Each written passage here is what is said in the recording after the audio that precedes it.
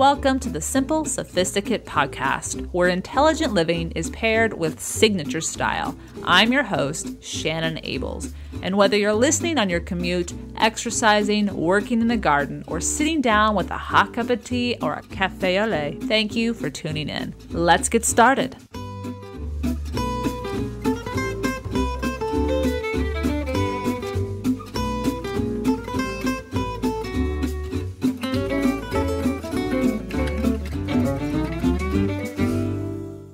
Welcome to the 197th episode of The Simple Sophisticate. Today, we're going to talk about music, specifically classical music. Now, if you're not someone who listens to classical music by choice or you just haven't really dabbled into it, trust me, I was someone like that as well.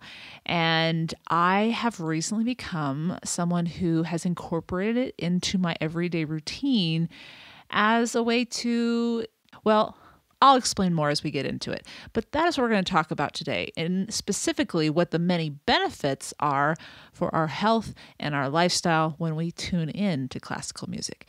Now, before I get into those benefits, today's petit plaisir has to do with a show that I have enjoyed over the past few years, and it has recently returned for its fourth season.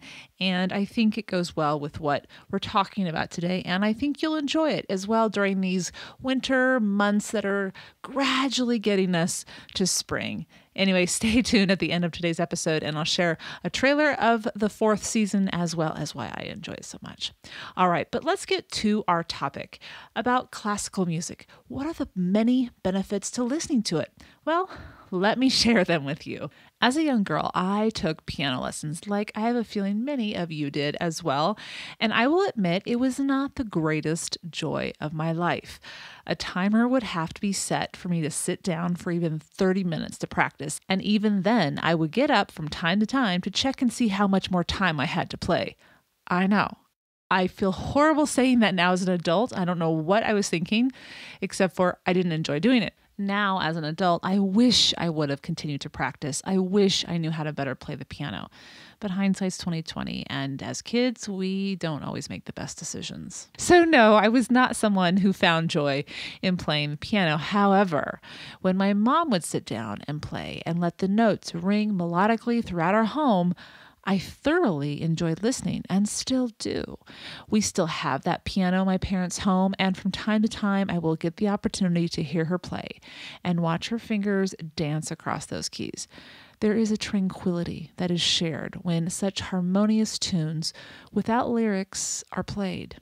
To my ear, it is quite peaceful. Perhaps that is why, as well, I am drawn to jazz, as I do prefer music without lyrics when I am working, relaxing, and simply going about my day. I enjoy bringing my stories to the notes rather than hearing someone else's. Perhaps that is a lack of imagination on my part, but when there are no words, the rhythm is mine to dance with and let my mind wander. Now, I know most songs have a history or a reason why the musician or artist created them, but sometimes you forget about that, or maybe you don't even know about it when you start listening to that particular song. And so it becomes your song. And I think that's why I'm drawn to the lack of lyrics. Now, don't get me wrong, lyrics have their place. But for, as I said, background music to my day or to get my day started or to unwind my day after it's been stressful, not having lyrics doesn't add any more stress and, in fact, soothes me. Now, as many of you know, I have always loved jazz since I've started this ep- this podcast, since I've started the blog. I, I share different musicians and different songs that I love. And in fact, that love started when I was a teenager. And I have since begun to welcome more classical music into my life and regularly so beginning this past fall, as I shared in episode 187. Now, many of my students over the years have been actively involved in the symphony and orchestra, and successfully so. So I do find myself learning from them about music, about different instruments, about different terminologies. And so, therefore, I am by no means savvy, but they teach me something. Every single year I learn something, or I'll go to one of their concerts and I will just appreciate even more. In fact, I was playing my classical station that I typically play in my classroom from time to time. And this one particular song came on, and immediately one of my students said, Oh, is that? Brrr? And I just sort of stopped in my tracks and thought, oh my gosh, that is amazing. Quite the trained ear. They could pick up and figure out exactly which concerto that was. Or, and to be honest, I don't know what song it was because I was just blown away by what? Because I there's no way I can really identify too many of these songs, but I do know I enjoy listening to them. All right, so let's get to the five benefits of listening to classical music. Number one, it reduces stress. If you find listening to classical music relaxing, then it can indeed reduce your stress levels. Upon listening to classical music, your body releases pleasure inducing dopamine and inhibits the release of stress hormones all of which generates a pleasant mood. Now, the key is to understand what you find relaxing. And I think that's the most important component here because if you don't find it relaxing to listen to classical music, that benefit's not going to happen. But if you do, make it a regular practice and observe your body and your mind begin to relax, which will then enable you to think more clearly and thus make better decisions. So that's number one. It reduces stress. Number two, it also increases your ability to think abstractly. Now, you may have heard of the Mozart effect, as it was coined in 1993, and it was discovered by Dr. Gordon Shaw of the University of California, Irvine, as it caused a temporary spike in an individual's IQ after listening to Mozart. While the findings need to be clarified, no, listening to Mozart doesn't make you smarter, but what it does do, Shaw states, is, quote, warms up the brain's ability to think abstractly. And that's what we often associate to those who are intelligent. They're able to make connections that are not readily put in front of them, they can make parallels that aren't offered to them on a plate. And so that listening, he found, is something, listening to Mozart, that is, loosens up our brain and just kind of enables it to be able to make those connections. Ooh, I find that very interesting. All right, so I still have three more points I want to talk about as to being the benefits of listening to classical music, but I would like to introduce you to this week's sponsors very quickly. The Simple Sophisticate is sponsored this week by Casper Mattresses. As someone who protects my eight hours of sleep each night as absolutely necessary for a productive next day, the mattress we sleep on each night is an important decision as well. The original Casper mattress combines multiple supportive memory foams for a quality sleep surface with the right amounts of both sink and bounce. Its breathable design helps you sleep cool and regulates your body temperature throughout the night with over 20,000 reviews and an average of 4.8 stars across Casper, Amazon, and Google, Casper is becoming the internet's favorite mattress and all of Casper mattresses are designed, developed, and assembled in the US.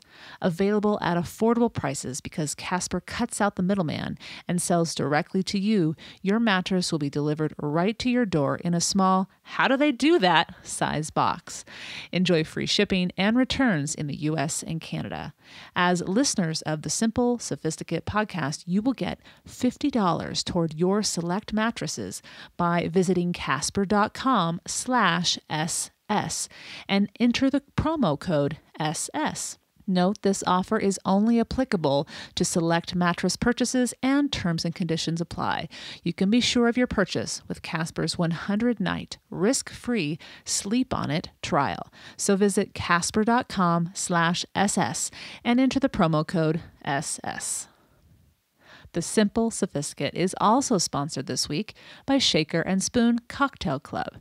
Making a signature cocktail for friends or that casual dinner party you are planning next month or for the Oscar party you're going to host next weekend is a fun idea. But for me, I wouldn't know where to start when it comes to choosing the cocktail of the evening.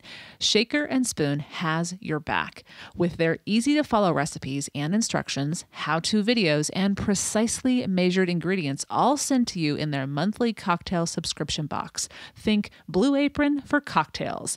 As a subscriber, you will receive three brand new original recipes created by world class bartenders each month. For example, I just received their Rye O My box, and one recipe is created by Carrie Ha of Alcove's Big Bar in Los Angeles for her take on the classic mule. Now, that is a drink I have been curious to try, but of course, knowing I have the expert guiding me gives me the reassurance that the cocktail will turn out great. Upon opening up my box, which arrived at my door neatly packaged, everything, including the limes and the ginger beer, were there, along with easy to follow recipe cards that even show you which glass would be preferred. I felt confident I would be able to make this drink. And if I still didn't feel all that confident about how to do it, I could go watch the how to video at shakerandspoon.com, which I did just to make sure. The ingredients you receive will be enough to make each of the drinks, there are three, for four people, so 12 cocktails in total. All you have to do is provide the liquor, and they even provide recommendations of which type of, in my case, rye whiskey would be their preference on their website. So just one bottle is all you need for the entire box, all 12 cocktails. What I appreciated most about Shaker and Spoon's approach is that they simplified the process. There is no need to search endlessly for that hard to find ingredient or ingredients, or purchase a full size bottle of ingredients you will only use once. Needless to say, it is a simply luxurious approach to hosting your own cocktail soiree. Now, that is something I can toast to. And I have some good news for you as listeners of the Simple Sophisticate podcast. You will receive $20 off your first month of their monthly subscription of $50 a month when you use the promo code SIMPLE. Visit shakerandspoon.com, peruse their site, and see which option would be best for you, or perhaps as a gift for someone in your life who enjoys entertaining. And don't forget to enter the promo code SIMPLE. Welcome back. Let's get to the three remaining benefits of listening to classical music. All right, number three is it heightens your EQ. Now, you may remember that EQ represents emotional intelligence, something that I've talked about in a previous podcast episode. And it was found, I found this very interesting. It was found in 2001. Southern Methodist University did a study and they shared their findings that revealed participants were more, quote, expressive and effusive with their comments and more forthcoming as well, end quote. Perhaps when we choose to listen to classical music, as we relax, our walls begin to come down a bit more. We are more willing to be vulnerable and less quick to react. So, make sure you're aware of your environment, I guess I should say as well, when you're listening to classical music. And so, I think I, am reflecting on when I'm listening to classical music, and I'm doing it in the morning in my home. I'm doing it in my classroom. I'm doing it in an environment where I know the people that are going to be around me. So, I, and I want to be relaxed and I want to be myself and I want to be open. So, uh, just knowing that that's a benefit is beneficial for relationships. It's beneficial for myself just to relax and be able to be myself. So, that's number three. It heightens our EQ. Number four, it increases our focus. A study done in France, published in Learning and Individual Differences, revealed that students who listened to a one hour lecture with classical music playing in the background scored better on the corresponding quiz of that lecture than those who did not listen to the music. Why? The researchers proposed that, quote, the music put students in a heightened emotional state, making them more receptive to information. It is possible that music, provoking a change in the learning environment, influenced the students' motivation to remain focused during the lecture, which led to better performance on the multiple choice quiz. So that's number four. It increases our focus. And they did find it was just classical music, not other music and not any music at all. And so, not silence either. So, classical music was the one thing that they found to increase those scores when they compared those three different instances. And the last benefit is that it helps you fall asleep more quickly. The University of Toronto discovered that when classical music was played, when you begin to settle into bed, participants in the study were able to fall asleep more quickly and stay asleep longer. Why? The study found that the music by Bach, Brahms, Handel, Mozart, and Strauss offered, quote, rhythms and tonal patterns that create a meditative mood and slow brainwaves, end quote. So that's number five. It helps you fall asleep more quickly. Now, the inclusion of listening to classical music in my everyday routine because I listen to it as soon as I wake up in the morning. I have my app on my phone, and before I even get out of bed, I'm kind of easing into my day listening to classical music. And then I do listen to it in my classroom as well. Not every day in my classroom, but I do listen to it a couple times during the week at least. And it has become a form of simple self care. Having a sound mind to navigate successfully through the day is an invaluable tool, but it is one that can easily deteriorate if we do not tend to it. Many readers shared their favorite classical radio station a few weeks ago, and a lot of those stations had free apps as well, and I have listed them on the show notes. So you can visit the blog, the simplyluxuriouslife.com backslash podcast 197 to get the entire list and links and to see which ones have an app as well. And an unexpected benefit I am finding is, and this is something that I didn't include in the list because it's not necessarily a scientific finding, but for me, I enjoy listening to the hosts of each of the programs that I listen to because they speak about each song they often share the history and other intriguing information about ex- exigence or the different compositions, um, how they came to be, or different places they've been played, or they'll take me away virtually to another country as I'm getting ready in Old Oregon, United States of America. I mean, so it's nice to just kind of let my mind wander to different places in the world as I'm getting ready in the morning the two stations I listen to, I listen to WRTI.org, which is based in Philadelphia. And then I, because of a reader's suggestion, I started listening to KUSC.org, which is down in Southern California. There are so many great radio stations out there, again, and they're free. That's what's wonderful about them. I may never pick up a flute or a violin or an oboe, but I certainly am finding that I appreciate even more those who do and those who have written these musical creations. Now, one other thing that I did as well is I compiled a playlist on Spotify, of which there are many others for classical music as well. So, this is just, again, my creation of 13 different songs that I really enjoy. But there are so many other great playlists on Spotify, as many of you already know. And my playlist has 13 songs. It plays for just over an hour and 15 minutes. And um, again, that's on the show notes. And then if you follow the simplyluxuriouslife.com on Spotify, you'll find this playlist as well as my Escape to France playlist. And you can listen along. So visit the show notes, the simplyluxuriouslife.com slash podcast 197. Now I'll be right back with this week's Petit Plaisir.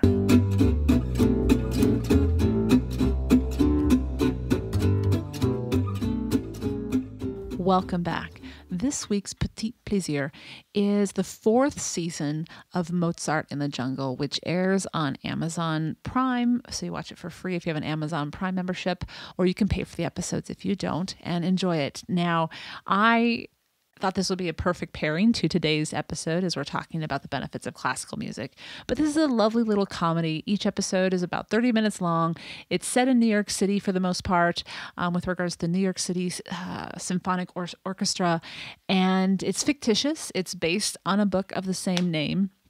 And um, but it's in its fourth season, and it just kicked off early February, and you begin with the maestro of the orchestra, Rodrigo de Souza, and his relationship with Hayley, as he calls her, or Hailey um, Rutledge to the rest of us.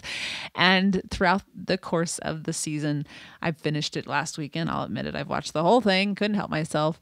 Um, it takes them to uh, North Carolina to see her parents, and then it takes them to Japan as well. There's some beautiful um, scenes in Japan this season, but it's a playful glimpse into the musical world that I know absolutely nothing about, as I've mentioned at the top of today's episode. And you get to hear some unique sounds, some beautiful sounds, and there's just a a delight in watching it. It's just a lot of fun. So I like to play for you the trailer so you can get a taste of the humor, the storylines, and um, the different characters. So here is the trailer of season four of Mozart in the Jungle. Five, six, seven. There's somebody new, isn't there? Yes, I like. We've been having a lot of sexual intercourse recently because I am the boyfriend. He's your boyfriend now? I think that he actually doesn't know what that word means and just likes to say it a lot. Yes! What? What? They're calling you from the conducting competition. They want to scout you next week. Oh this could change our lives. Behind the podium, Hayala, just make yourself huge, bigger, like a vision. If you blow this chance, I'm gonna kick your ass.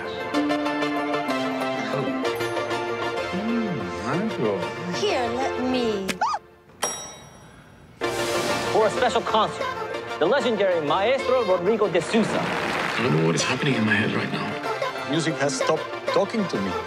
I don't totally feel like I belong here. Well, you belong. You, you're here with me.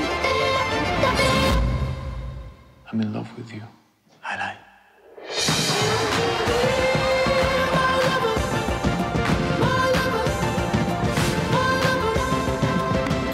People are gonna think whatever they want about you, no matter who you're dating. Your job is to not give a shit. Concentrate on the music. Be honest with me. Complete honesty? Yeah. Oh my God, you're gonna win.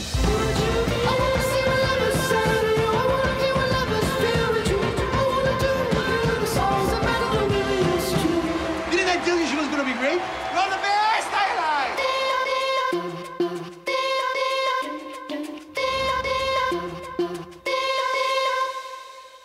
What's new and lovely about this particular season is the focus shifts from Rodrigo to Halai or Hailey as she decides to step away from just being an oboist and try to become a conductor, a conductor in a world where there are very few female conductors. And they really dive into that subject matter, which I think not only is it timely, but it's it's appreciated as a viewer um, as we see her struggle, but we also see her courage and her willingness to stand up for herself, find that courage to do so. So you'll find the link to Mozart in the Jungle on today's show notes, the simplyluxuriouslife.com slash podcast 197. The entire season is on Amazon right now, and um, I think you'll enjoy it if you haven't already started to watch this series. I hope you've enjoyed this week's Petit Plaisir, where each week ideas are shared to make the everyday all the more enjoyable. Tune in at the end of each Monday's podcast where I'll recommend a book, a film, or a recipe, anything that is a simple pleasure to satiate your sophisticated taste. Now, as we've been doing, um, each week is sharing a review that listeners have so graciously taken the time to do on iTunes. And I want to share with you one that is from a new listener. And I believe, and I correct me if I'm wrong on your handle, you are. Uh, your handle is Long Leg Snad, and the title is Simply Exceptional. Quote, I found this podcast three weeks ago. I just can't stop listening to it and applying the concepts that speak to me the tips, the simple pleasures, and the list goes on. Shannon's voice is so soothing and a delight to listen to. I've started to play it right before starting my morning drive.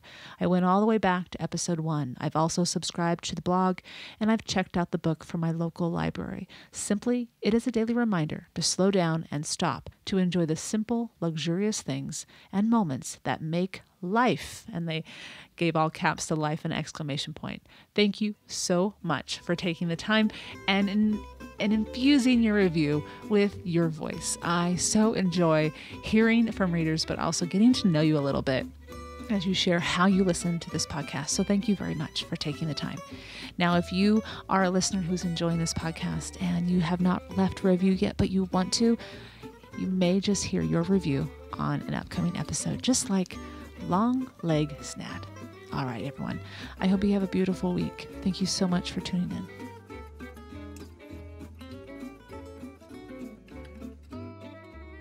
Thank you for tuning in to the Simple Sophisticate podcast, where intelligent living is paired with signature style.